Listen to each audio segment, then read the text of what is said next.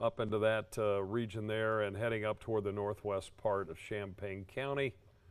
Uh, Idle Road, let's see, there's Nine Mile Road. These are all areas where you should be taking shelter from the storm.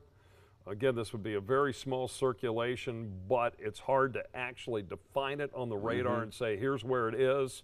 Uh, but damaging winds are definitely going to be a possibility as this continues to move northeastward. And a lot of rain. I mean, we go from a moderate drought. Uh, now, not all the Miami Valley, but I know at least uh, uh, what Montgomery, I think Greene, Warren, Clinton, we're under Miami, Yeah, yeah. we're under a moderate drought, and then we get this very heavy rain, and we haven't had much action at all, even severe weather for that matter, uh, for quite some time. And then we get some heavy rain, and then we get uh, what could turn out to maybe be a possible tornado or two uh, as we continue to follow it. But right now, based on the velocity, velocity data that we had, uh, the Tipp City area is probably where we Mm-hmm. saw some of the strongest winds. Yeah, for sure. Yeah, that was right where you, I know you were racing in as fast as you could to get here, and that was just before you, you came in the door there that it was, uh, it was very impressive there. And uh, I used uh, the phrase uh, possible, if not probable, and then it almost looked uh, likely uh, at one point, as, as good as it would ever look, really, on Doppler radar. Well, you know, one, of- one of the, just side by side, uh, winds away and toward the radar, which would only indicate you know, some pretty rapid rotation. And you saw the uh, gate-to-gate shear, meaning away and toward from the radar. What it was, 101 mile per hour. So Yeah, over 100 miles per hour on 50, the shear. 50. Uh, the good news is, I think that was out more in a rural area southwest of Tipp City, but of course that circulation did move up uh, over Tipp City. So uh, right up over the northern. I would think, uh, I, let's see, uh, I don't know, can we get hold of the newsroom and see if we're getting any reports of any damage down there? That would be a good thing. Yeah, we could call uh, perhaps uh, the what the Miami County Sheriff's Department or Tipp City Police Department and uh, and see if they're getting any uh, uh, folks calling in saying, hey, we've got damage, you know, in a certain location. Again, nothing from the National Weather Service, but that's not surprising, Brian, as you know from you've done this what uh, 40 years or so. Uh, it takes a little while. I mean, it, there's a lag time between when we see something and then you start getting the reports. They they generally start to flow in you know, a half hour, an hour later, or something like that. Right, absolutely. So uh, let's see, I'm trying to get some of the velocity data. Let And me get the warning outline out of the way. Obviously, it's uh, taken priority. I'm just hearing from the uh, newsroom that they do not have reports of damage yet. Again, No reports of yeah, damage Not surprising, uh, but but they may come. We'll see. All right, let's check out some of the velocity data. Well, there's 40 miles an hour around uh, Westville, is what we're getting. Um, So that'll blow a trash can across the lawn. You know, I mean, right, it- uh, but the other thing we have to remember, we, we can only see uh, movement toward or away from the radar site. So in this situation, uh, we may not be catching the full uh, velocity Mm-hmm. here. We may only be catching a vector component of it. So, uh, you know, that we could still be looking at some 50, 60 mile an hour winds moving up toward Eris along 560 up in Champaign County. Uh, so uh, again, you need to be taking shelter this area under the tornado warning. Again, let me show you where that area is. They did shrink the uh, polygon just a few minutes ago, and it's uh, kind of confining it now to the northwest part of Champaign County. It looks like mostly to the northwest of Urbana. And the newsroom is telling me now that there are reports that there, there's quite a bit of power out. Uh, Vandalia uh, street lights are out, uh, so quite dark in that area. They're advising uh, motorists to be extra uh, cautious if driving in, uh, you know, extreme northern uh, Montgomery County, southern Miami County.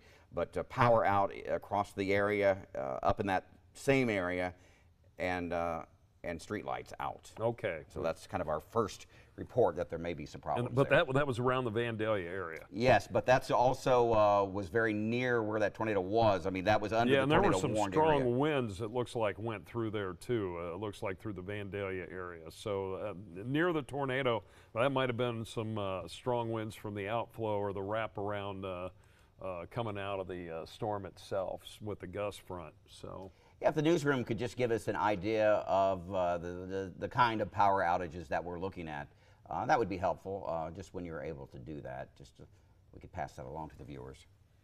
okay.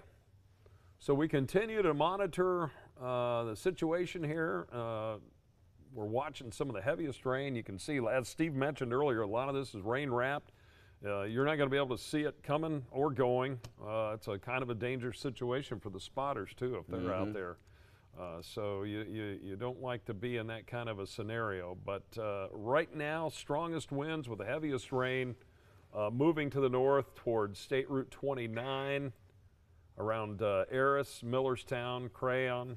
They've canceled the warning for Champaign. Uh, they have canceled the warning for Champaign County, as Steve just said there. So uh, that's it. So that's about, uh, it was in effect until 8:15, so the time now is 7:53. So they canceled that about uh, 20, 25 minutes or so early, which is good news, meaning the circulation is just pretty much Right. non-existent. Yeah, that uh, there's there's a broad circulation there, but it's, it's it doesn't look tornadic at this point.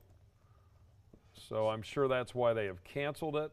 That doesn't mean it can't be reissued. So if I were up in Champaign County, northern Champaign County, around 68, uh, running up toward West Liberty, 245, State Route 508, uh, heading up there toward uh, DeGraff and Bellefontaine, up toward uh, Doak Lake, if uh, up there in the southwest corner of uh, Logan County. If you're heading up, uh, if you live in those areas, definitely keep track of these storms as they continue to move northeast. But at least right now, it looks like the tornado warned storms have come to an end.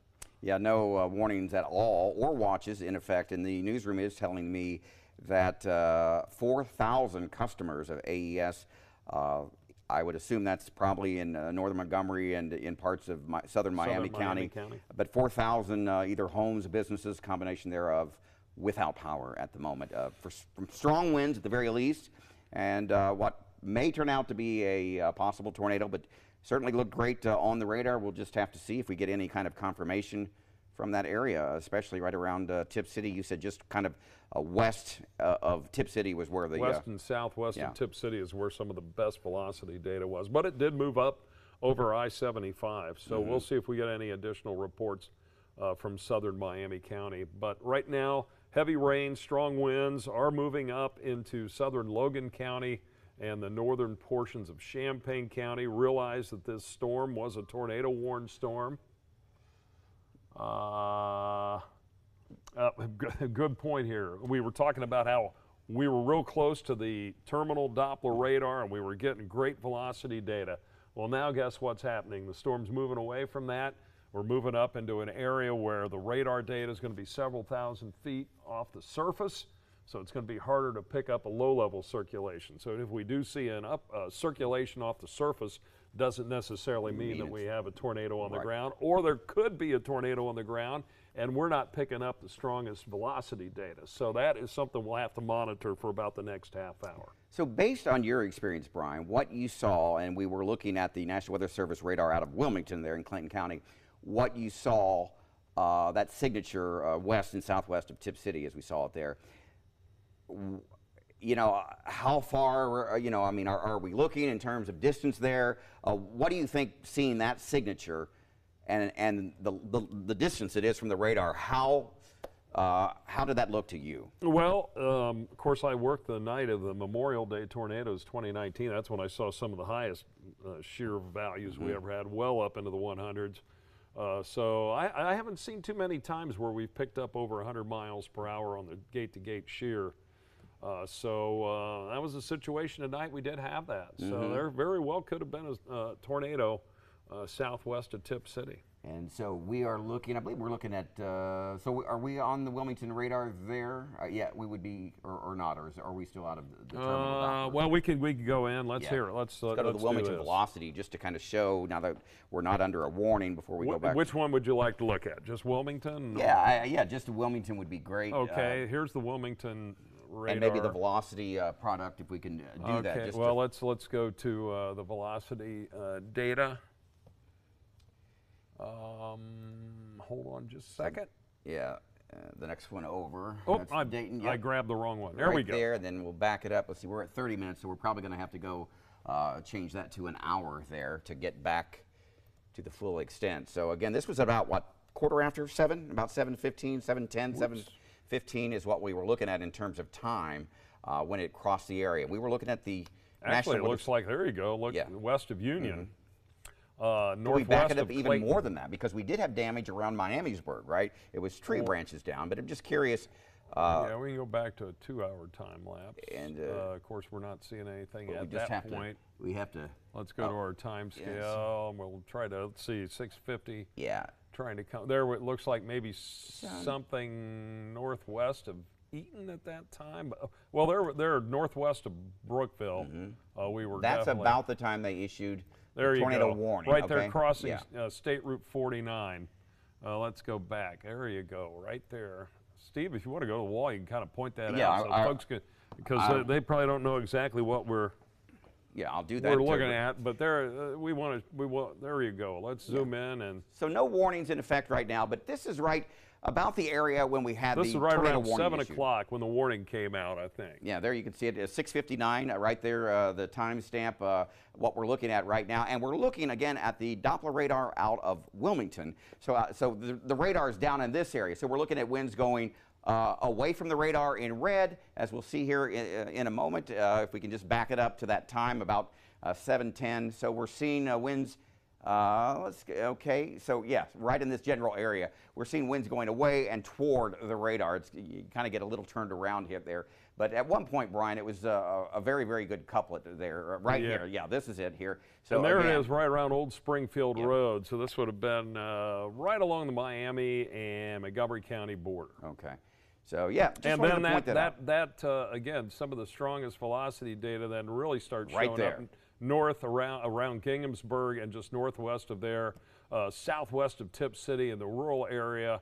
A pretty good uh, velocity couplet right there going into Tipp City itself. right over Hyatt the Street. northern northern portion of Tipp City. So Right. again, this is coming toward the radar. That's that's. Are you able to uh, look at the wind speed just uh, on that actual Would you, pixel does- or uh, not? Sure, we can. What you you want to look at uh, some of the velocity? Yeah, just the velocity there. There you go. There's your gate-to-gate shear and 57 miles an hour So on the 57 at the time, uh, which is very near a severe thunderstorm uh, warning limit. You know, the threshold I think was what 58 miles per hour Uh-huh. or 60 miles per hour. So we're, we're very near that at the very yeah. least. 50, yeah, Yeah, 50 knots, 58. 58 miles per hour, exactly. So All right, so uh, at this time, we do not have any new warnings.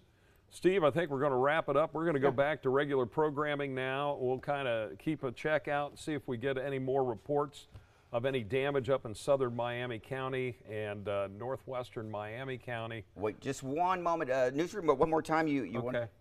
Uh, there was a request. We have a picture, and uh, uh, this is from Dayton International Airport, Brian. Oh, this is from Dayton. Okay, DAY. Yeah, we're trying to. Uh, it's kind of hard to see. Yeah, it is. We're going to actually just take a really close look and see if we can. Uh, uh, it does look perhaps like at least a funnel there, Brian. Uh, Yeah, and there might be a circulation all the way to the ground. I don't know what that building is there, if that's one of the terminal buildings or what. Well, there's the water tower, so um, It's to- maybe we're looking north. Is that a view to the north? okay. It's hard to say. Okay, we're gonna uh, we're gonna go back to this in just a moment. We do want to show you the power outages. We have a map now showing that again uh, in this same area, Brian. You can see that uh, south of Troy. Of course, most of these outages, 4,000 homes and businesses without power in the general area, the same general area that was under the tornado warning. So is that Tipp City and where we have numerous outages? If we're if we Uh, zoom in on that a little bit. It is. It's just kind of like south of Tipp City. Uh, I- yeah, so that's where yeah. we had some of the strongest velocity data. So not surprising there. Uh, lots of, uh, of course, it's uh, what we still got an hour or so of uh, daylight. The sun doesn't set until after nine o'clock, but it's very dark up around Vandalia, I'm told, uh, because the uh, street lights are out. Right? I Yeah, mean, it- it's just very dark in that area. We have cloudy skies, rain falling. still have clouds Yeah. and rain, just light to moderate rain right now around Vandalia. So before we go back to programming, let's just take a look at that picture one more time. Um, this is again, Brian, from the Dayton International Dayton Airport. International Airport. We're not sure if we're looking north, northeast. But we see the water tower. But I want to point your attention, if you can just, uh, in fact, if I'm able to go back to the wall. Maybe that's west. I'm- Yeah. I, I'm, I just, I don't have any reference. I'm going to come back to the, the wall here just to show. So if we can make the uh, weather wall active, I'll uh, point with my finger uh, if it's hard for folks to see at home. Uh, let's go back to that picture and then, uh, and then make the uh, weather wall active. Okay, so let's uh, let's go ahead and uh, and take a look at that uh, picture again. So this is what we're looking at here. Um, I'm still not in the picture there. Uh, I was trying to point uh, to the actual funnel cloud uh, or possible tornado, and I'm still not able to do that. Uh, but it's just to the left of that building, as you see. So we're this is, uh, I, I guess, a time lapse. I mean, I don't know if this is actual video or if this i- i- it's just a picture, but uh, clearly you can see it moving in time, getting closer and closer to that building. Uh, a funnel cloud.